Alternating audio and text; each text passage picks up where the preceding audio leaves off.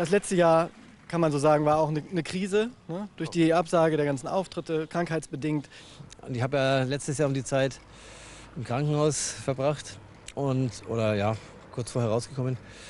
Und da war es erstmal überhaupt nicht klar, was so weiter, weitergeht.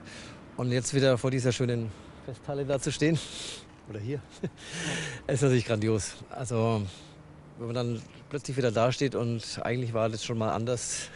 Ja. Ähm, von daher, das ist ein tolles Gefühl natürlich.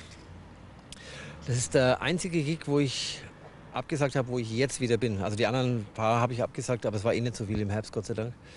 Aber so nach und nach komme ich jetzt in die ganzen Clubs und das ist natürlich schon so ein emotionaler Moment.